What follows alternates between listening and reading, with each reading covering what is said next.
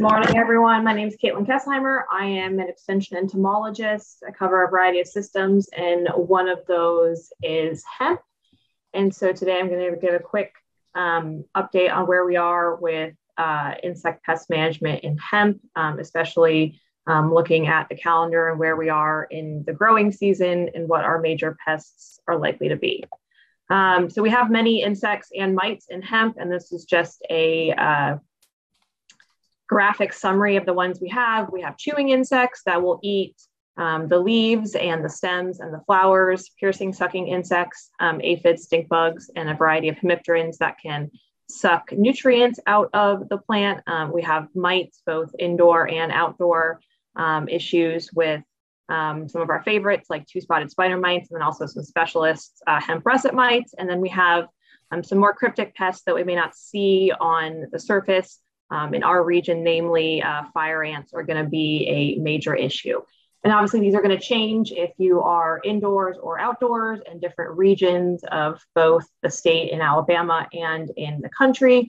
Um, but on the, very, very um, surface, we have, you know, circled here some indoor pests. So we have aphids and mites and fungus gnats.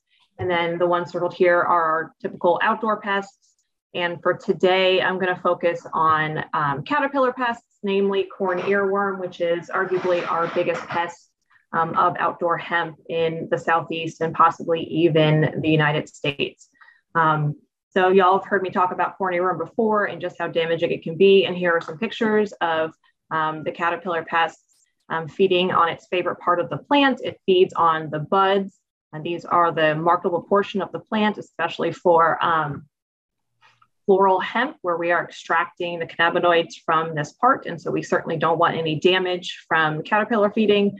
But the real problem is um, their feeding creates wounds that can allow pathogens to enter. And so we end up with a series of um, pathogens that we call collectively bud rot. And it could be a mixture. Um, uh, we have fusarium, botrytis, but at the end of the day, this is not a, a marketable uh, hemp plant, whether you want to sell it for raw flower or extract it for its essential oils that are used for wellness products. And you certainly don't want um, caterpillars in there as well. And so we've worked on this the last couple years. And so I'm just going to give some quick updates as to where we are in managing this pest. Um, back in 2020, we worked um, with several other states in the southern US, Virginia, North Carolina, Maryland, and Delaware to monitor for caterpillars, um, both in the field and then the adult moths um, outside the field using pheromone traps, similar to what we would do for sweet corn. Um, we sampled um, both in the buds for larvae and then using pheromone traps for the adults. And then we came up with this damage rating scale from zero to three that we all used. Um, zero would be no damage, one would be about 25% or less um, of the bud is unmarketable.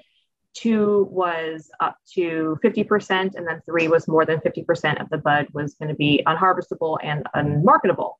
Um, so we found that across all states, all locations, there was about um, seven, give or take, uh, caterpillars per 30 buds, and this was the highest. Um, and they were all in September um, at all locations, regardless of state. Um, and what we did when we dam- assessed damage at the end of the year, we found that there was one date at the end of August that was our only significant predictor of what the average damage rating might be. And um, at a minimum of two and a half caterpillars per 30 buds, that was our significant predictor of unacceptable crop damage. And so, if you think about it, that is a very small number of caterpillars that can uh, render your crop unmarketable, um, unharvestable, or uh, certainly less money when you are selling it um, as raw flower or even as uh, extracted oils. And so what we next wanted to do was look at ways to control this pest um, using a series of insecticides. And so last year we, um, across uh, Alabama, North Carolina, and Virginia, we evaluated a lot of um, our insecticides that are in fact labeled for hemp. Um, they either have a federal label or are approved in Alabama. And then we also tested a lot of um, conventional standards that we know can control corn earworm in other crops. And so um, we tried to have the most consistent across states, but just because of um, supply chain issues, we weren't able to get the same treatments in every single state. And so that's what this column is here for. Um, and this is a just kind of a representation of some of the results that we had. We had several different locations, even within those states. Um, and what you're looking at here is average caterpillar counts um, across the growing season and our different treatments. And then over here, we have our average damage ratings with those treatments. Um, and what I want to point out with this graph here is that if we're looking at caterpillar counts, we certainly have some significant differences. Um, some products like our conventional standards really did a lot better and had significantly less worms than our untreated control. And then some of our biologicals, um, our BTs, um, and some others, we tried tank mixing our NPVs. Um, but the, the interesting thing about this is even though we had differences in the number of caterpillars, we had no significant difference in the damage in each treatment. Um, so these are all the same. There is some variation, but it's not significant. And so what this is telling me is that one, we're maybe not finding all the caterpillars um, that are there, or they've maybe already um, pupated and gone to the soil and we missed them, um, or it just takes such a small number of caterpillars to cause extensive damage that caterpillar counts is not really an accurate way to assess um, what the end is going to be in terms of damage and harvestable buds. Um, so where we are right now, after doing that, we're replicating it again this year across the same locations. Um, for the foreseeable future, the corn earworms are going to remain a, a, damaging pest, primarily of outdoor hemp.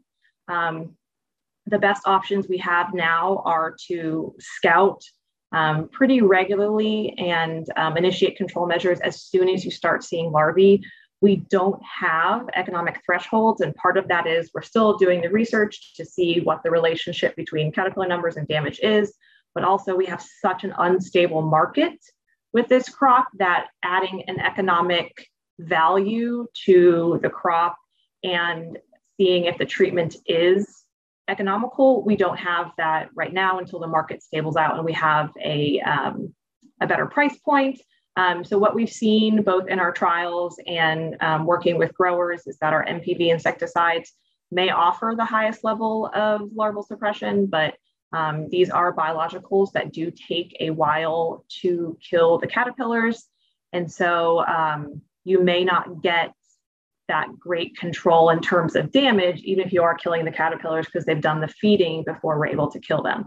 Um, and we're looking at other sustainable strategies. Um, we're looking at uh, both trap crops and conservation biocontrol and, and promoting natural enemies like spiders here to see if we can't help reduce the population um, of corn earworms. And so finally, in terms of other pests in hemp, um, being proactive is going to be your best strategy. Um, while a lot of us like to resort to chemical control, we really need to have a, a multifaceted IPM approach using all the different tools, including scouting, um, keeping good uh, field journals, um, and controlling is going to be a major, major headache. And so if you are growing or plan on growing, um, be prepared to spend lots of time and energy and probably money on controlling pests and especially if you're growing outdoors in Alabama with our high pest pressure and um, high moisture and humidity, we may end up with a lot of disease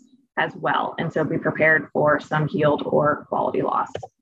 Um, with that, here is my contact information. So if you have any questions about corn earworm or other pests as we as we move further into the growing season, feel free to contact me. Um, we also have a hemp uh, Facebook page we're pretty um, active on, and I tweet sometimes pictures about hemp. So happy to take any questions.